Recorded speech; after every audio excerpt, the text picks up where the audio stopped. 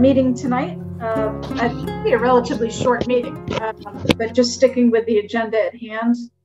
Um, I put down the approval of the minutes. Um, I do have minutes for April 25th and May 18th meetings. Uh, the only minor detail is I never actually sent them to anybody for review. Um, so I'm going to defer that until the next meeting. Okay. Um, so no minutes tonight for approval, but they will be on the next agenda. Okay, and then affordable housing update. Um, Bill, you were, uh, planning board had uh, some audience about 40R.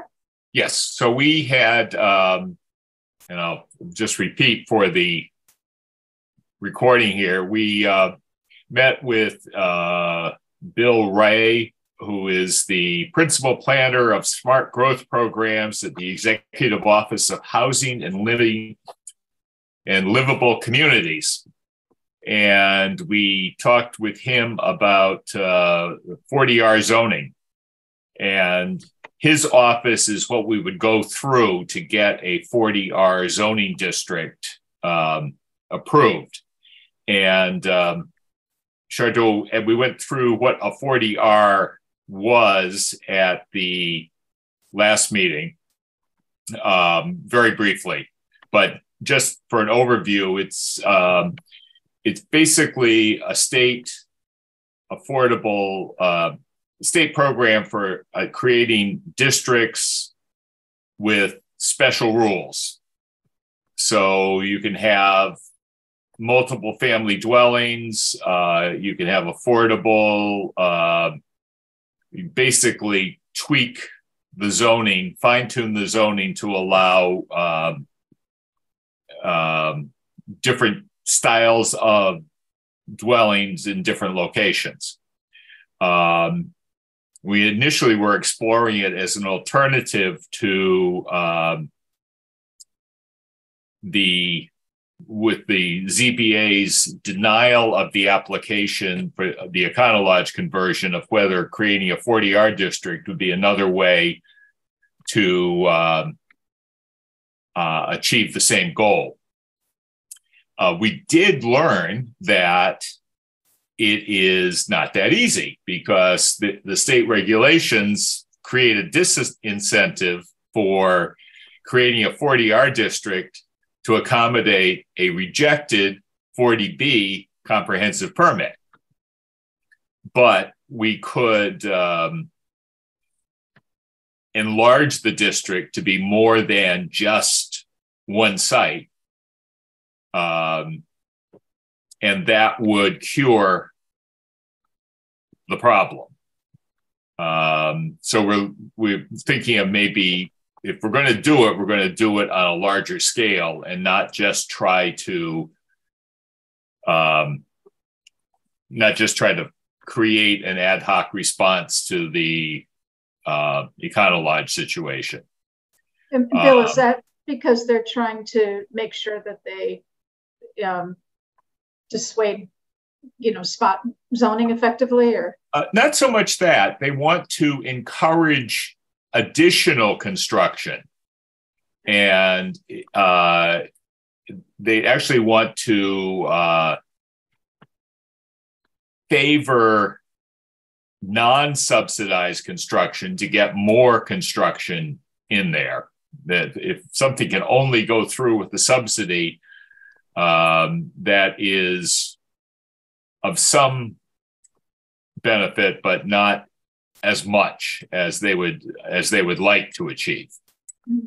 So um, what, it does is create some options, and and I'm going to anticipate because I have talked with Shardul before that um, at present um, the only exception to the rule of uh, one dwelling per lot would be senior housing and certain other minor exceptions converting dwellings to multifamily, doing accessory apartments, but those are, are small scale. Um, whereas under 40R, we could um, basically create a, a district that would accommodate a larger a larger you know, an apartment house or townhouses um, with a requirement that a portion of them be affordable. And if it was a rental model, as long as 25% was affordable, 100% of the units, the 75% market rate units, would count towards the affordable housing inventory. Um, so it's promising on, on several levels. It, it, it's basically a, a, variation on what uh, Winfield accomplished through a 40B comprehensive permit, but it gives us more control because we get to say where we would like to have it and not just where the developer wants to put it. Mm-hmm. So um, that potentially could deal with several issues that Shardul might be dealing with on, on your project based on our prior conversations. And you may have evolved beyond that. So if anybody wants to take a look at it, uh, the uh, it, it's on the uh, Hadley Media uh, Facebook and YouTube pages. Um, and the conversation with the guy from the state uh, comes in at 45 minutes into it, and it pretty much takes up the rest of the meeting. Yeah. And isn't there um, also like a financial incentive for the town? With 40R, yes, you do get a financial incentive for creating the district, and you get further benefits for every affordable unit you bring into the district. So um, we haven't really quantified what that means. it also, interestingly, um, can be adopted by a simple majority of town meetings, does not require a two thirds majority. So, uh, and that that's a big change. That's a big change. It's only for uh, basically affordable housing issues we still have to go to town meeting. Mm-hmm. And a 40R district, we have to, we basically have to do all the work, create the district, develop the bylaw, then send it into Boston for review and approval before we can take it to town meeting. Mm-hmm. And then it has to go back to uh, uh, this livable I have to get used to the phrase executive office housing and liv- livable communities for final approval before. So this is not a quick fix. This is something that, with the amount of effort required to create everything and get pre approvals, if we're looking at Springtown meeting 2024, that would be rosy.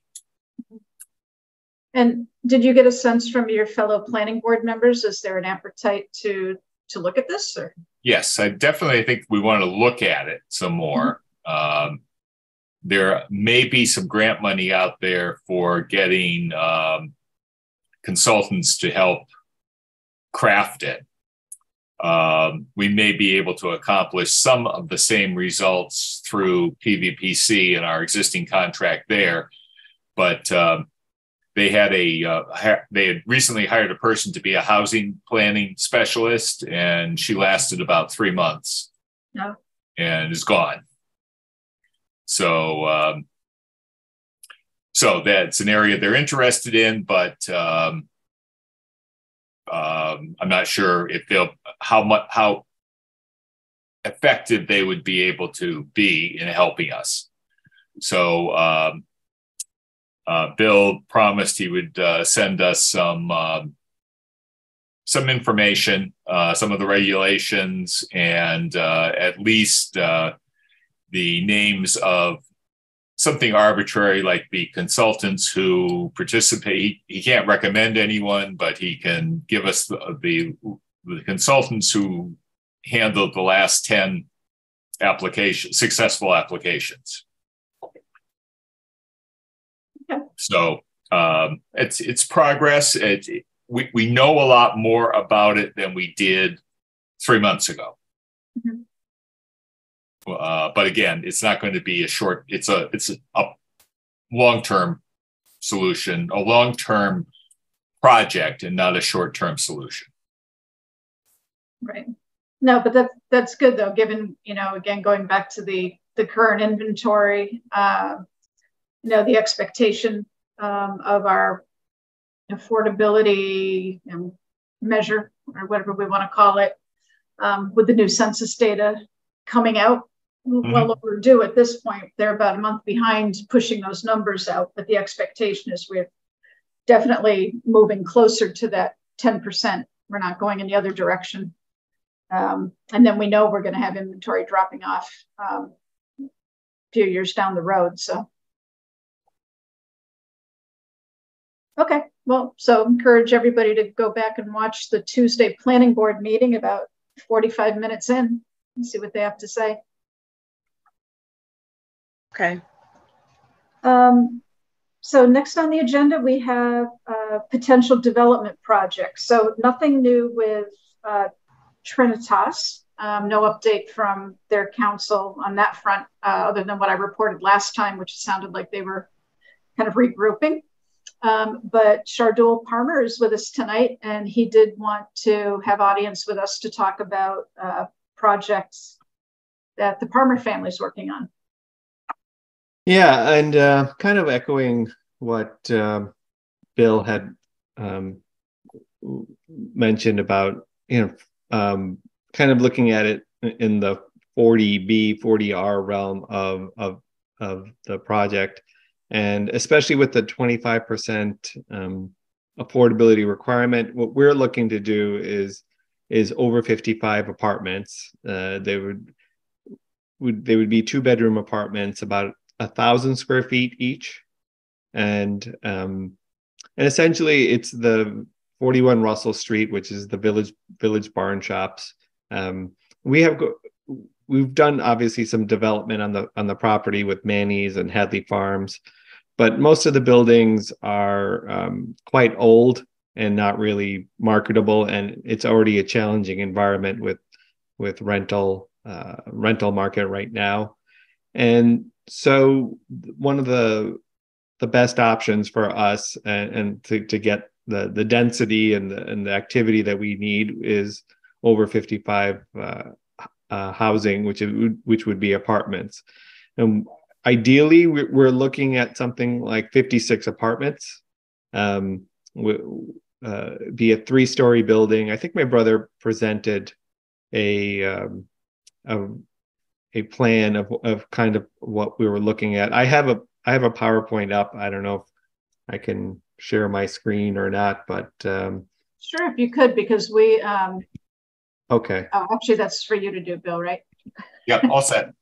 All right. Okay uh, let's see.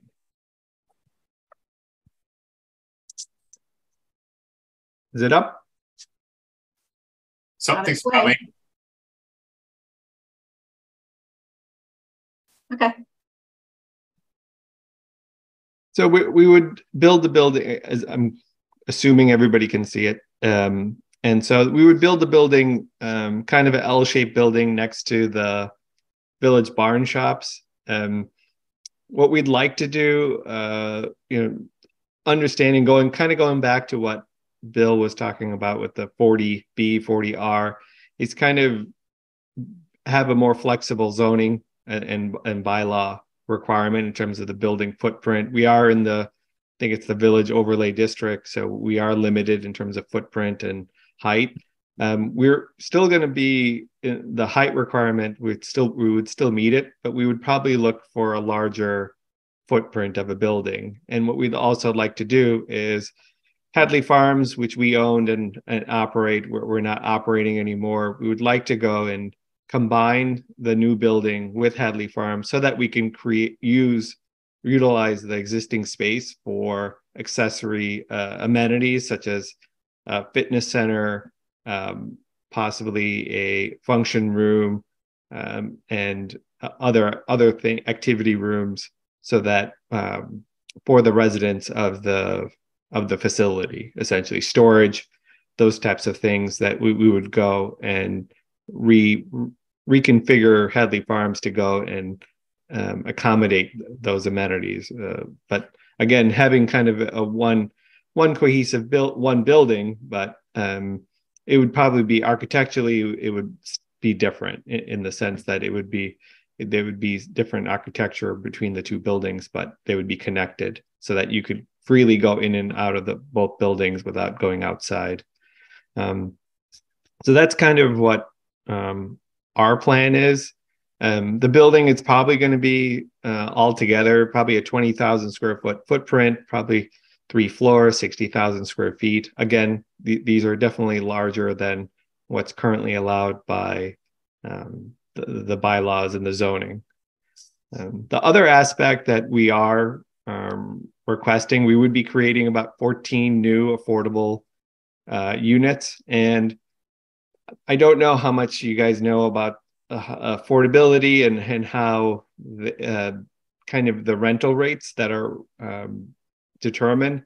But Hadley is is part of this uh, Springfield census tract. So uh, even though rental rates in Hadley and Hampshire County are different than what they are in Springfield, we're limited by what we can charge based on based on the Springfield um, rates. And so um, one of the things that we would probably be requesting, and, and I just saw an article very recently about this, is utilizing um, CPA money to go and subsidize those uh, 14 units. So we'd be looking for roughly $50,000 each for each unit to, to go and subsidize the cost of construction, uh, constructing those units. Um, so this is kind of the, the, the breakdown, 56 two bedroom apartments, 14 affordable units. Um, they would be at the 80% average median income. Uh, requesting that the footprint be increased. Again, the CPA funds, and and again having a flexible uh, bylaw requirement uh, so that we can go and kind of build what's really marketable and what's um, to get the highest amount of density uh, on the facility because it's it's a it's a large site. We have a lot of old buildings, but uh, we know that the the demand is there and that we can put uh, such a large building in our property and it would really not negatively impact kind of the open space that's currently there because we're probably going to be and with the building and the green green things that we're going to be doing we're probably going to be creating um, a, space that looks less barren i guess than what what's currently there. Because it's a big open parking lot. This would uh, again beautify uh, the area even more than it is. So um, our future plans is are to is demolish the the again all the existing older buildings. Uh, most of the buildings were built in the late 70s, early 80s, and again, they're just they're just very difficult and and not really marketable to to what the needs are today for for most tenants and for really any other uses. I know it's a lot, so I know I I've uh, I, have kind of uh, this is kind of our ideal situ um, requirement, but uh, we're more than happy to go and and and talk and discuss the options that we have. I don't know. Um, again, I reviewed this as a as like kind of a friendly 40B or possibly a 40R, um, but you know, one of the things that uh, um, that was pointed out is the the uncertainty about 40R and the and the kind of the time that's going to take to go and have that happen. While ideally we'd like to start something like this, go into a planning board and do all these things this year, and hopefully start construction in uh, spring summer of next year. So so those are kind of um, our thoughts on this. But uh, again, uh, we wanted to go, uh, come here and, and show what we're thinking and just to get the feedback of, of the of the committee. I think it might be more doable under uh, 40R, but not on that timetable. I know. I, I agree with you. It's um, the timetable is what's concerning. Now, as to a friendly 40B, uh, obviously, we have had uh, mixed results. Well, I shouldn't say mixed results. We've had negative results. And that was a project that had the full support of the planning board and the select board. Um, so, yeah, I think those are the only two ways that this can be done. Even though senior housing is allowed in the district, it uh, a structure that big for senior housing is not allowed. So, um, so yeah, I think you you you correctly identified your paths your your paths forward. Yeah, we've put a lot of thought into this, and and and just and had a lot of discussions with quite a and obviously with um, asking the questions with with Molly and yourself answering those you know getting giving us guidance guidance. But um, I I think as Molly pointed out with with the upcoming we're we're getting very close uh, you know as a Hadley resident we're we're getting very close to that threshold. And and we kind of um, the state is also from everything I've read is is very kind of scrutinizing how towns are are kind of uh, looking at increasing affordable housing and and I'll be honest, the the cost difference is especially you know we're I would say we're probably more negatively affected in, in where we are, but just because the the the, the we are looped in with Springfield, and that really impacts um, what the affordability re- rates that you can charge. So mm-hmm. I think going forward, even if we do some of this stuff, I think it, it's still going to be kind of kind of a challenge uh, without get as you mentioned before about getting a subsidy, because you know we're we're going at this without really not looking for state subsidies or credits or anything like that. We're really we would probably just rely on our own investment and CPA funds, which again it definitely helps uh, with kind of absorbing the the the cost of those units and, and the the reduction in rent co- compared to what we could get. Yeah, I mean, I think I think the things I like about the project, um, number one, you know, location um, in terms of accessibility to the bus line, which um, you know, there's a bus stop right on the other side of the the Hampton Inn there, right? Well, we have two bus stops. There's one on right. Bay Road, and then there's one right on Route Nine. Yep. So you've got the Route 9, the B43 line, and then you've got the one that can take you into to South Hadley down that way. Um, and also the fact that, you know, as you pointed out, Shore we're, we're repurposing existing blacktop effectively, you know, so we're not taking away any green space. And if anything, it looks like, you know, there's opportunity to, to you know, create a little bit more um, compared to what you have today definitely and and for us it's a doing getting into this it's a it's a easier transition for us uh, especially being kind of in the property management business already in, in, with the hotel and the other tenants that we have over there. And so it's it's a it's a good and easy uh, fit for us uh, in terms of our transitioning into something like that um, or adding adding to our portfolio um, so uh, yeah, for for us, I think it's going to be pretty easy to manage you know, for overall, just because we are already doing it, and to to maintain and to manage and and to do all the things that needed to be done to be successful and not be blight and and so you know, all of those things we're we're kind of already set up to to make sure that that everything happens as as needed.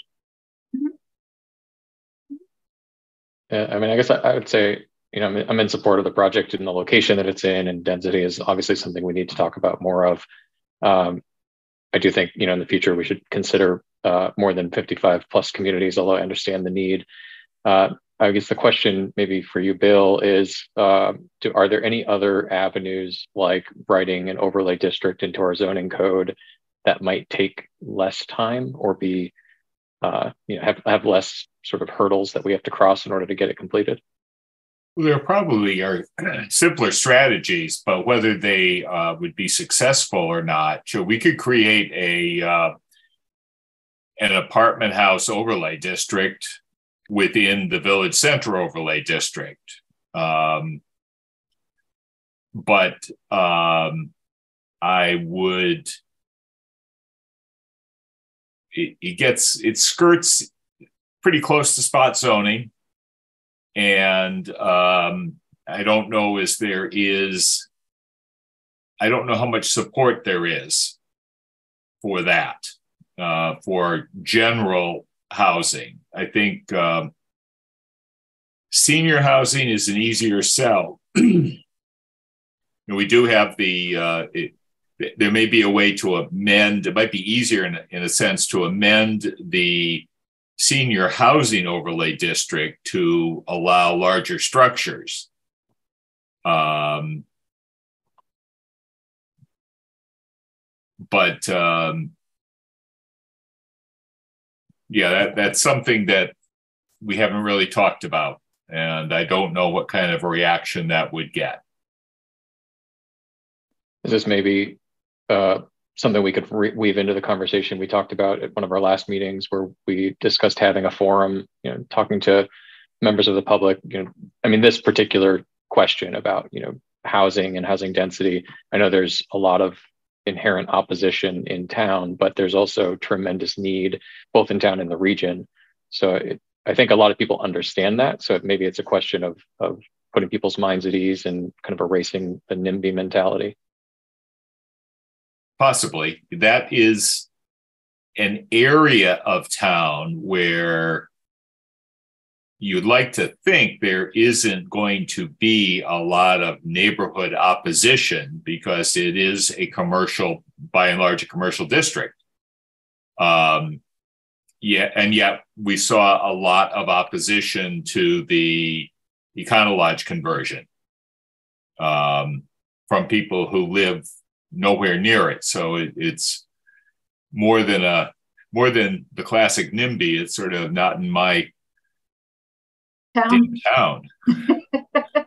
Um, right. I think part of what I or and I deal with this in jurisdictions across the country, but part of what I'm wondering is if if we need to just have a you know a session where we can clarify what affordable means. You know, there's affordable uppercase A and affordable lowercase a, um, and I think you know I've I've started using the term workforce as a different way of describing it, but the idea mm-hmm. is that it's you know, people have this understanding or this impression that affordable means you know section 8 subsidized housing or, or something like that which you know has connotations that are probably not fair but do change people's opinions. And i think maybe building support starts with educating our, our residents about you know what this actually means you know what affordable actually means. You know i think you're absolutely right. And it's also educating the subset of our residents who will take themselves out to town meeting when it comes up. And that can be the, uh, it's not that it can't be done, but um, there are some people who come religiously to town meeting who open the uh, warrant that they pick up at the table and back for the first time that night to find out what's going on. That's very true how to get people to participate in local government has always been a huge issue. Yeah. So I don't um, want to discourage in any way. Um, I think um, probably the route that I would see is is getting some much more detailed plans pulled together so that it could be used as an example of why we want to do what we're proposing to do. Right. Um, kind of a proof of concept of the idea of having more dense housing along the Route 9 corridor.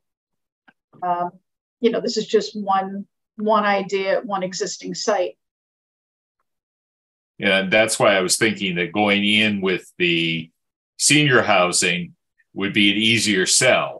And then you could say, well, look, we have 55 units of senior housing here we have 50 units of uh, affordable housing at the uh, Econo-Lodge, um, 50 units of, or 25 units of workforce housing in some other location uh, won't be a problem at all. Um, you know, that's that's why I'd like to see the Econo-Lodge get up up and running so that this fear of an apartment building can be put to rest. To some extent, Winfield is an apartment building. If you've ever gone back there, sure. um, you don't think of it because it's truly out of sight, out of mind. Um, I know police and fire get in there from time to time, especially at the senior housing back there. But um, uh, it it hasn't been the boogeyman that people think of, but nevertheless, it hasn't also converted into a well. That's nice. Let's let's do another nice one like that. So um, again, I I think you're on the right track for going starting with senior. Um, I think that'll be an easier sell, um, and go from there. And meanwhile, we can be working on parallel tracks with 40Rs, um, maybe some um, duplexes by right, um, uh, at least in certain neighborhoods, maybe in overlay districts. And that's again where a 40R comes in. Right now, probably about half, three quarters of the town is zoned agricultural residential but that means uh, people who are on uh, 20,000, 25,000 square foot lots and people who are on two acre, five acre, 10 acre lots. So, um, you know, 40R may be a tool to do some um, with without changing the underlying zoning, creating some flexibility that we don't currently have built in. And Crystal, did you have any um, reaction to the project? Well, I just was basically wondering what I was thinking about what the, the income level would be. However, um, Bill and, and Justin have confirmed and, and actually provided more insight on the, you know, the, the income range and, and as Justin said, people need to be educated of really what low income or you know, middle income would, would really mean. And a lot of people assume the worst when it comes to um, affordable housing. You know, they assume that people who are homeless or um, of a different walk of life can't afford uh, decent housing. But these days, you know, it, it's really hard for someone to actually afford to have a decent place to live with without going into debt and being able to afford all of the amenities that come with living in a decent housing. So I just I just enjoy hearing all of the feedback from you know this project and I mean when you look at Golden Court those those apartments are so small and it's it's really sad because I look at the elderly as they've lived their life. You never know what someone experienced or have done in their life, and to live out their final days in something as small as that. But it's the only thing that they can afford. And in Winfield, it does go according to your income. However, the income range is pretty high for the elderly to be able to afford. So normally when people move into there, they do not move out because they can't afford anywhere else and they're barely making a minimum to, to live there. So I'm just looking forward to see where this project goes. Yeah, I mean, so it sounds like Shardul, you know, um, you've got our support to continue to to pursue this, and we, you know, happy to be helpful in whatever way we we can. Yeah, I, I think for us, um, it, it it fit it fits in. I think as Bill pointed out with kind of the kind of what the sentiment of the town is it's acceptable i guess right now um, mm-hmm.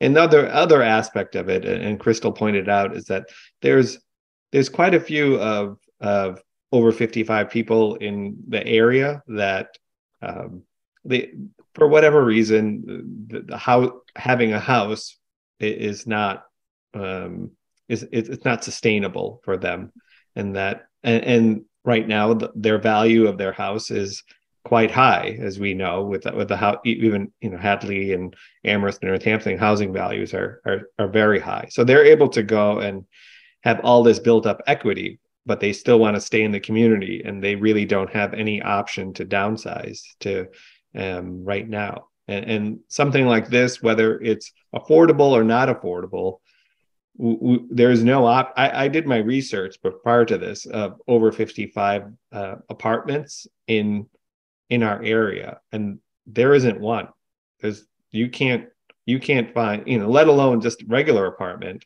um an over 55 apartment that's that's almost that's not it's unheard of. I have I um and i haven't seen one come up um for a while but i haven't checked recently but it is something that's r- really uh, a product that isn't in in our in our market in what whatsoever. And and so it, it's as, as justin pointed out it's all part of the housing system that we have. It's like we the a person that's over 55 gets out of a house now that gets into the inventory and somebody else can afford to somebody else can with a family can go live there and and, and hopefully that will be their home for for quite a few, but we don't right now. Our system is kind of dead, um, gridlocked because we don't have these avenues for people to that that can't sustain housing to go into something that is more more sustainable for them physically or financially.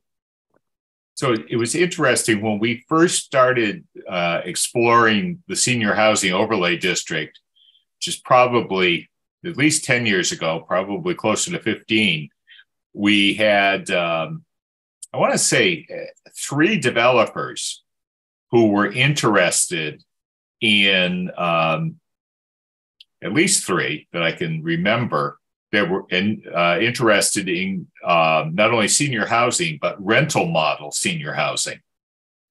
And um, as we evolved the bylaw, um, they hit market changes. Uh, we never heard from them again. They did not come back after we generated the bylaw. And the only senior project we've had is the one that uh, Barry Roberts put in on East Street. And I think it was a disappointment in the minds of some people who even supported senior housing because um, as as it came in, I think people had a vision of senior housing as Golden Court and something newer, a super Golden Court was sort of the concept of this must this would be senior housing, Golden Court on on steroids, if you will. But um, as Barry was doing his market research, um, he started out with relatively modest. First of all, he decided to do it as a condo model, so to be sales rather than rental. And secondly, he started out relatively modest and you know two bedrooms, one car garage, no basement. And um, his focus groups gave a lot of feedback on we want more, we want more. And um, honestly, the price is it is senior housing, but it is not affordable capital A or or small A. Um, those are fairly expensive condos that are age restricted. Um, so I definitely would like to see more options out there. Um, and also in Barry's case, we we did negotiate with him a payment in lieu of uh, creating affordable units on site. So he's making payments into the Affordable Housing Trust Fund um, as his way of meeting the affordable housing need. Um, we only had one other subdivision that triggered our inclusionary zoning since we adopted it about another about 10 years ago. And uh, they contributed to the affordable housing trust fund as well. Um, so that's another route by the way. We do have money in the affordable housing trust fund that can supplement what um, cpa can do Is that not CP? That's not the same as C. I was. I didn't understand if that was the same. No, it's a it's a different entity.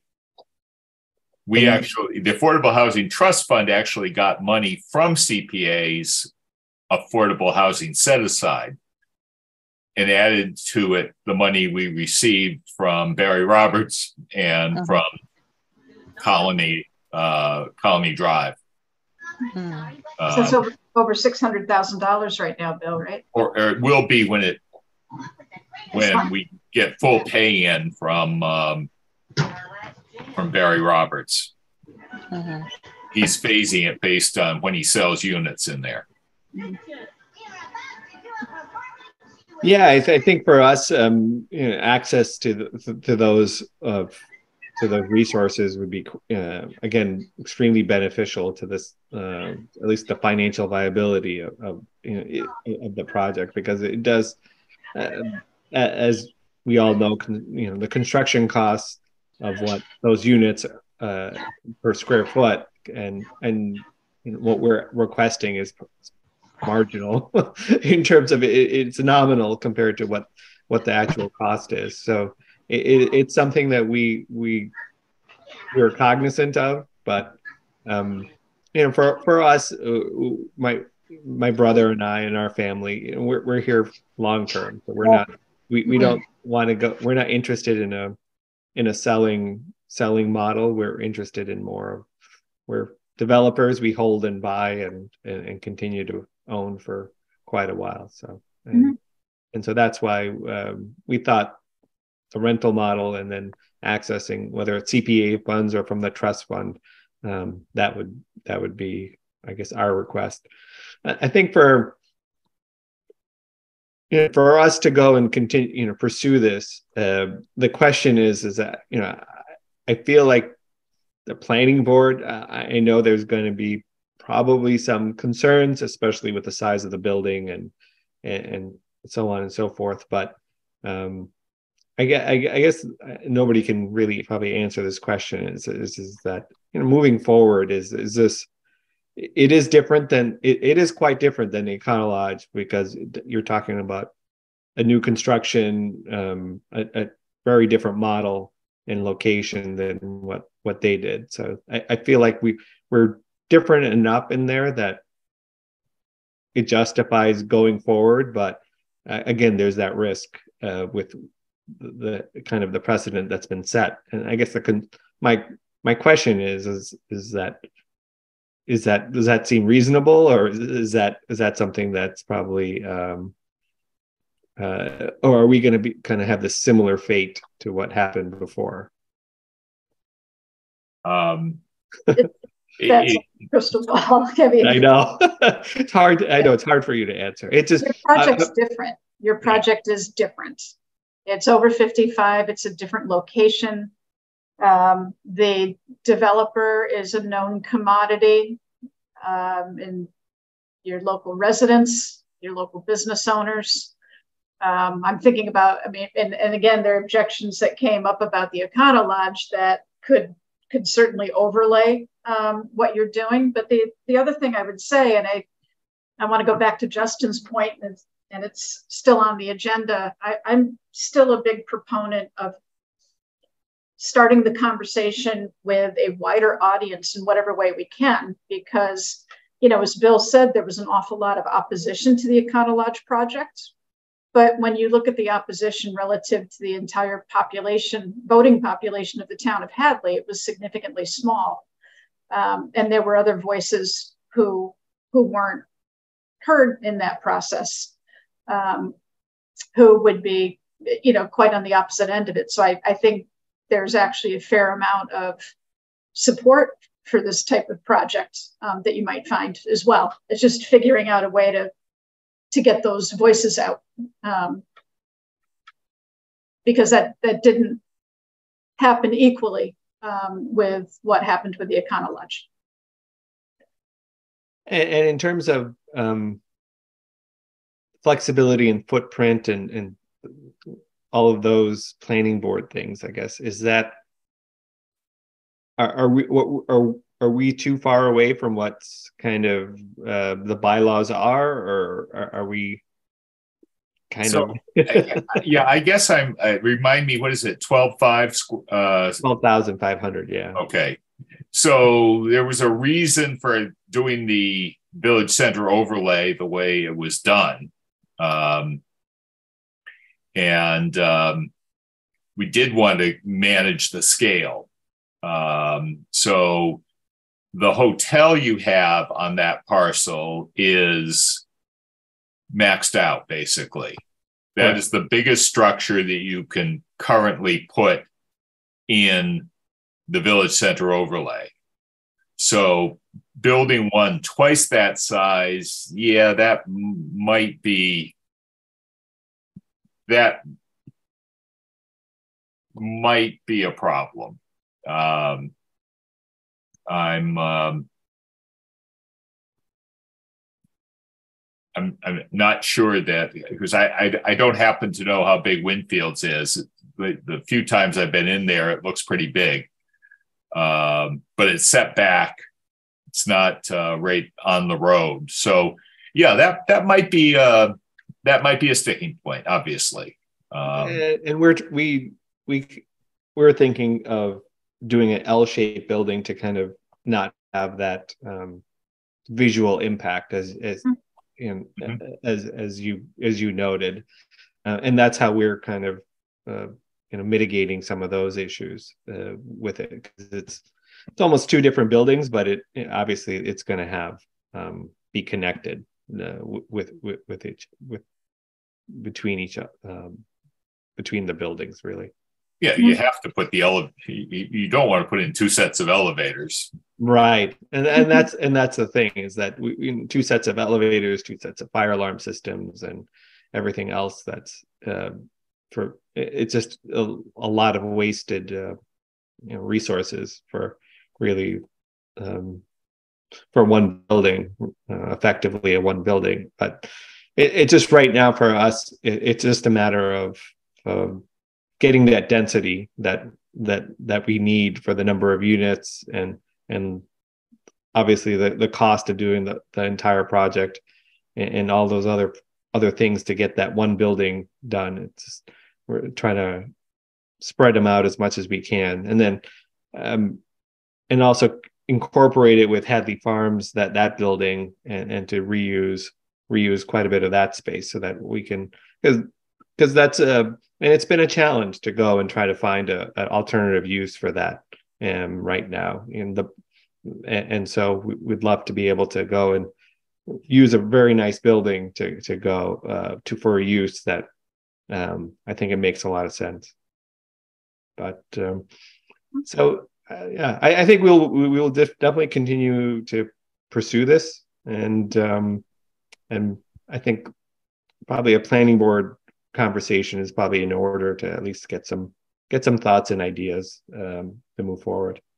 And you might want to just um, even just having relatively quick conversations with um, public safety. So Scott at DPW uh, and the two chiefs. It's always helpful to anticipate what they're going to say because oftentimes those questions come up along the way as well.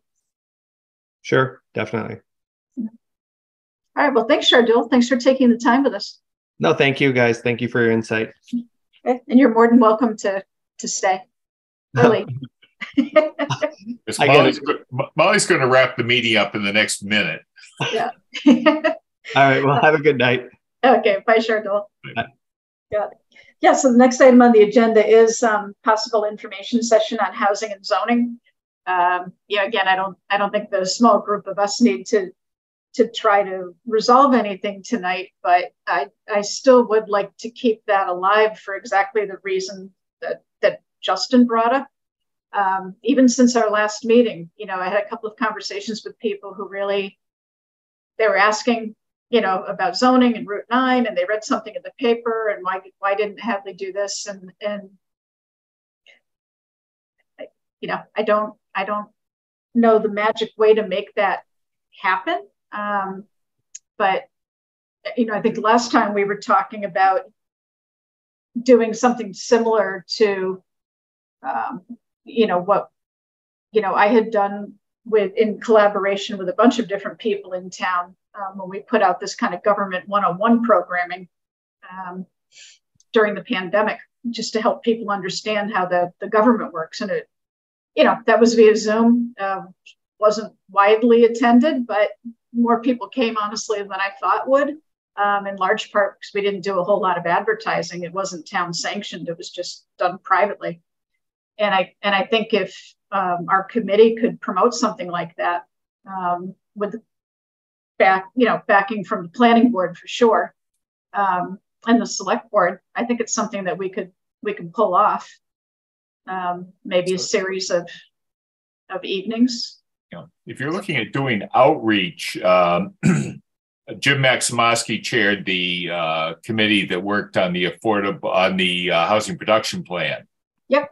And they did an outreach, at least one outreach session uh, that was orchestrated through Pioneer Valley Planning Commission. So mm-hmm. um, we might want to loop Jim in because he has the more recent experience on how that worked out. I don't know how the, I know there was a questionnaire that went out, and I don't know exactly what kind of a public forum they put on. Um, but um, it has yeah. been done recently.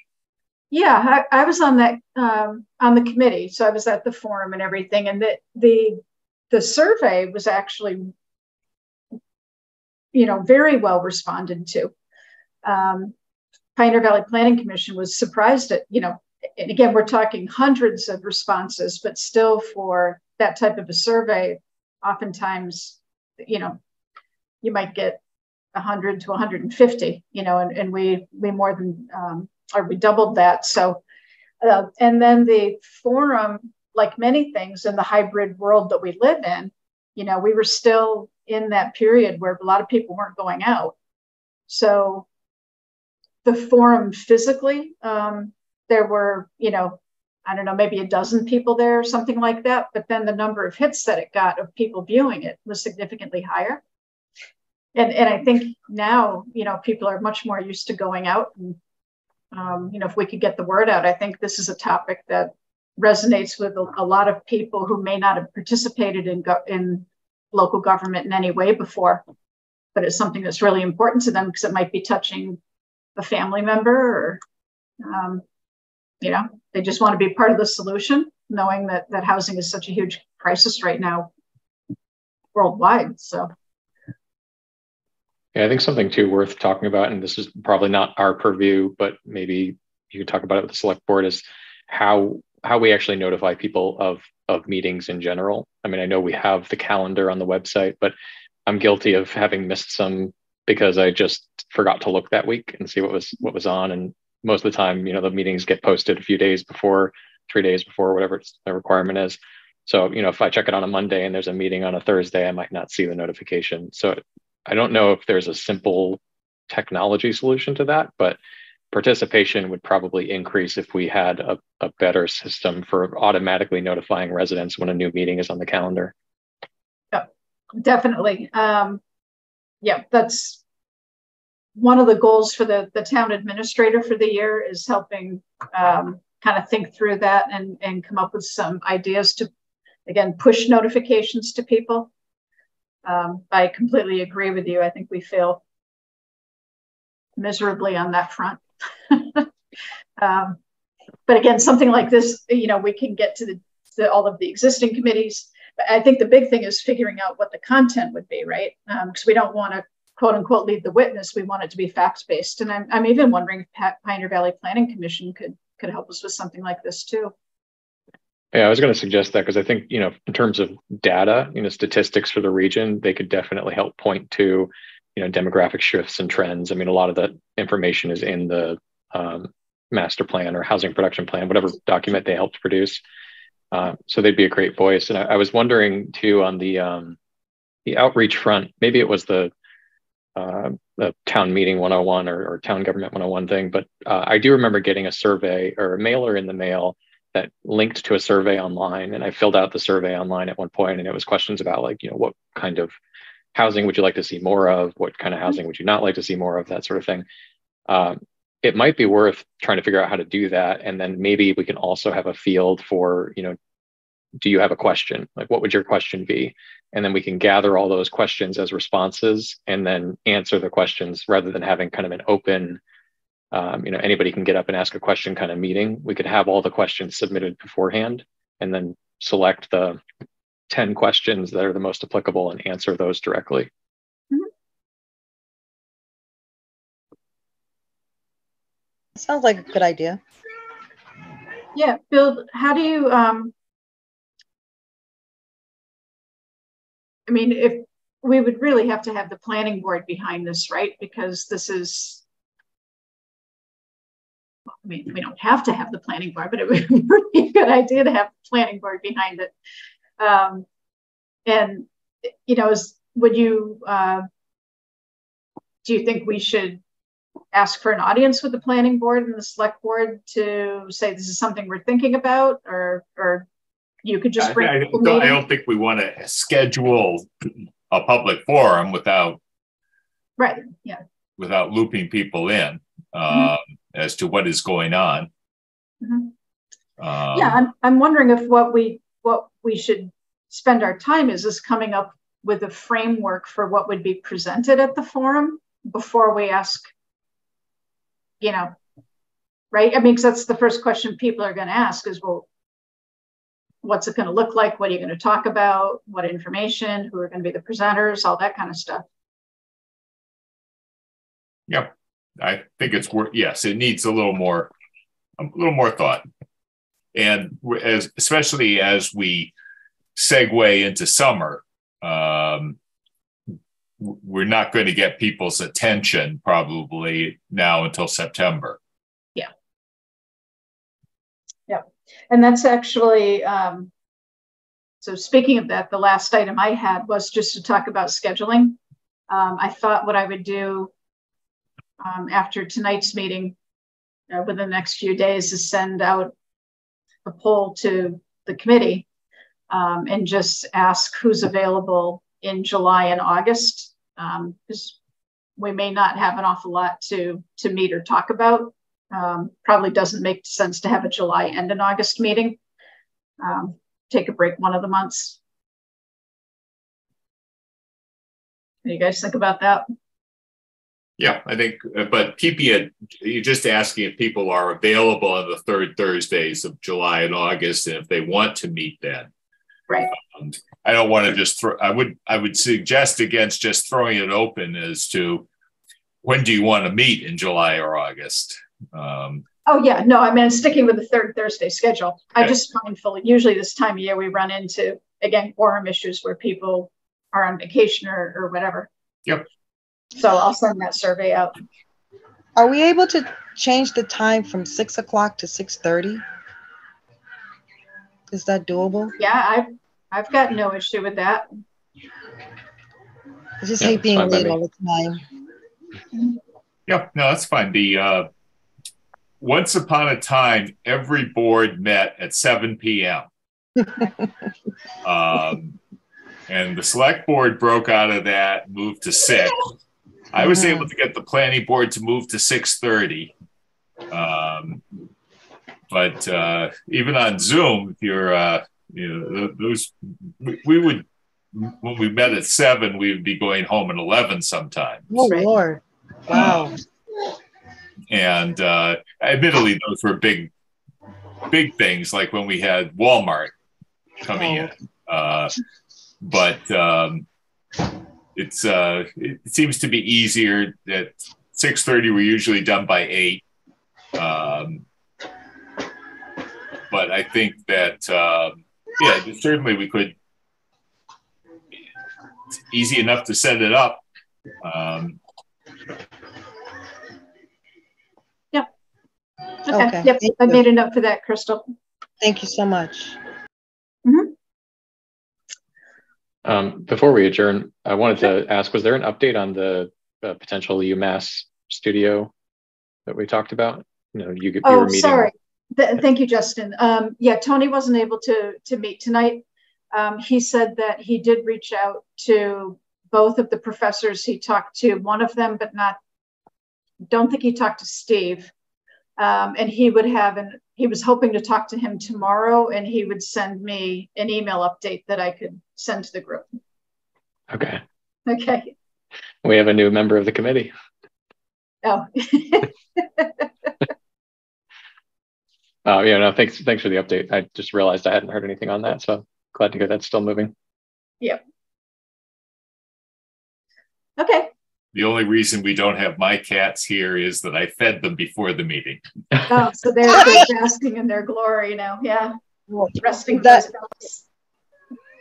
well, at least I'm not the only one trying to keep a third party out of the meeting. yeah, okay. Okay. He's come to visit today. so I'm Right. very happy here. My grandson. Yeah. All right. So we have a motion to adjourn then? So moved. Yes, Second? move. Second. Yes, third. All in favor? Hi. Aye.